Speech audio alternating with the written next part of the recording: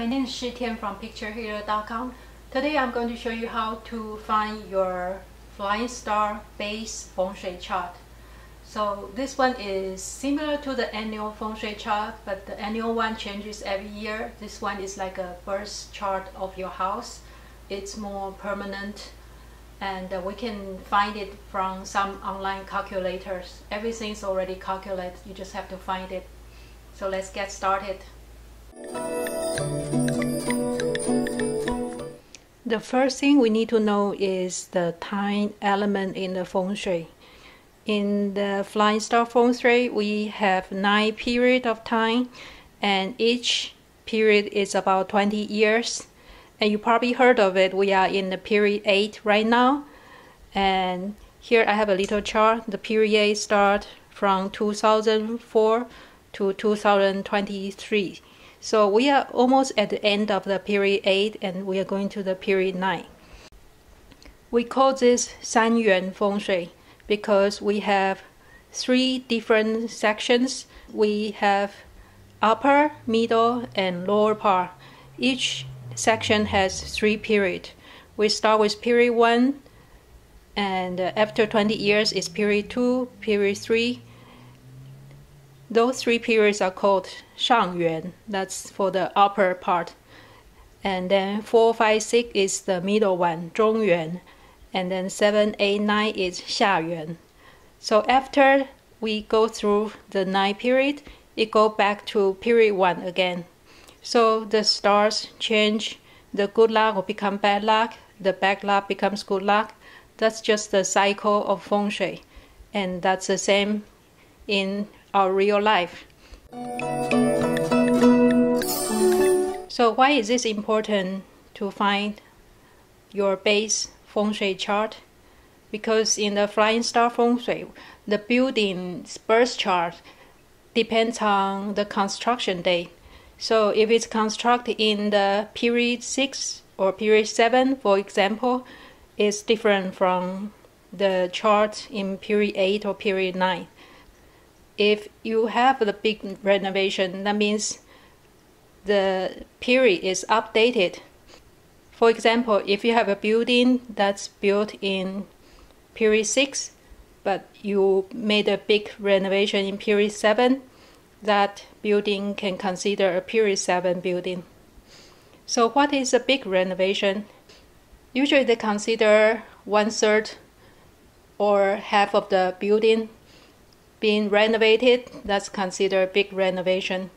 For example, the renovation to replace the whole roof or replace the floor. If it's just a minor renovation in a small area, it doesn't really count. Another consideration is the time you move into the space because that's an important consideration that you bring the qi to this space. Besides the time, the second important thing you have to know is the facing direction of your building. I talk about it in a different video. You can find your direction through a smartphone app.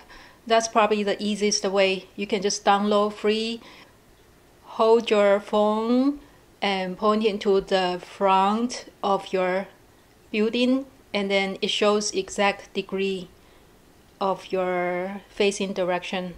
So many people are confused about which side is the facing direction because sometimes the main entrance is not the front of the building.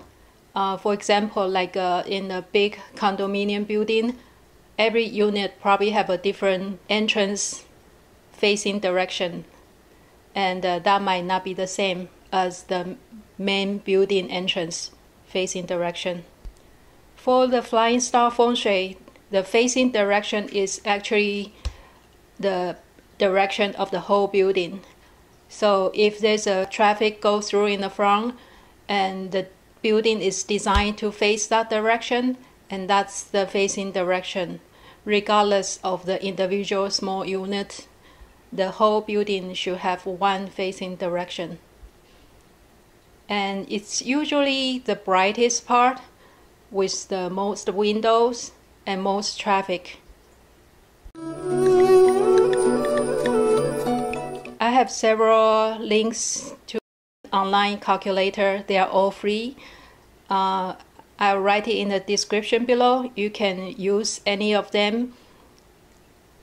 So this chart is more permanent and it lasts for usually 20 years if you don't do the renovation.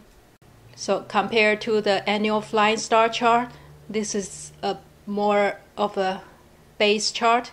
But most people say the annual chart because it changes so fast. If you do the feng shui according to the annual chart, you can see the result faster. So when you look at the chart you print out from the calculator, usually there will be three numbers. There will be a base number, and on the top left and top right corner there will be a two smaller number. And on the top left is the seating number. On the right is the facing number. The left side is the mountain, and the right side is the water. Mountain is related to, to human relationships, to health, and the water is related to wealth and money and business. Some of the calculator also generate the combination of those two numbers and uh, they will tell you what it means to have a 1 6 combination or 2 7 combination. And you can get an idea. It's like a reading a birth chart so that's how you calculate your flying star base feng shui chart. Now it's so easy to come up with the charts. Just input some numbers and the computer will generate the chart for you. And the stars meaning remains the same from 1 to 9 it just fly to a different area in different day different time different year some calculator also generates monthly chart for you but it gets more complicated hope you have a good time finding your flying star feng shui chart now you can compare your base feng shui chart to the annual star feng shui chart and find your best direction. We also have the 2018 Flying Star Feng Shui chart free download in the description below. And let us know if you want to know any topics about the feng shui. We'll try to do a video about that topic. Thank you.